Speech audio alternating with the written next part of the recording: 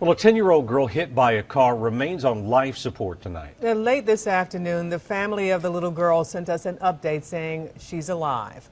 News 13's Rex Hodge is streaming live from Cherokee. Rex, the family says they are donating her organs. That's right. So far, they say she has saved seven lives, and they say they hope she can save even more. Meanwhile, the family and community are already mourning the inevitable.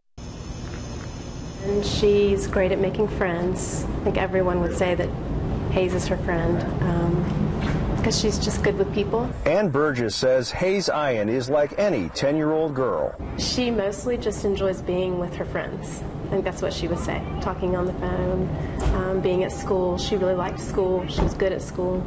Her teachers like her a lot too. As children, their parents, and teachers get ready for the start of school Monday at East Elementary in Swain County, Burgess says it will be difficult not to have Haze here, struck by a vehicle in Cherokee on Wednesday. There's never a good time for something like this to happen. Beginning of school makes it even more tough.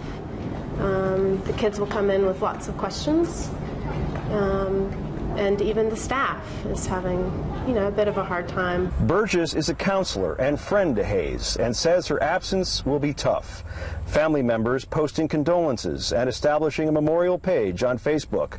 Swain school leaders are already helping at an open house. Our grief counselors have been trained how, to ha- how do you handle adults, how do you handle kids when a tragedy like this happens. Emotions as genuine as this little girl. We're heartbroken.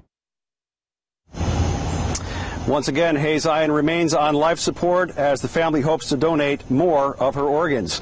A fund has been set up to help the family with funeral and medical expenses. You'll find that information on our website under news links. Just before air, we received a statement, a letter from the family, and I want to read that to you right now. We would like to ask people to continue to keep our family in your prayers. We would also like to ask for prayers for the man and others who were responsible, who were involved rather, in the accident. We would like to thank everyone who is helping us and we would also like to thank everyone at Mission Hospital for taking such wonderful care of Haze.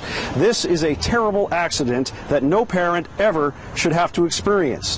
Haze will be loved and missed by everyone who knew her, and we will make sure she will never be forgotten. Please continue to pray for us and parents. Please hug your child, hug your kids extra tight tonight. You never know what tomorrow will bring or take away. And it's signed the Carol Ayen family. Reporting live tonight from Cherokee, Rex Hodge, News 13.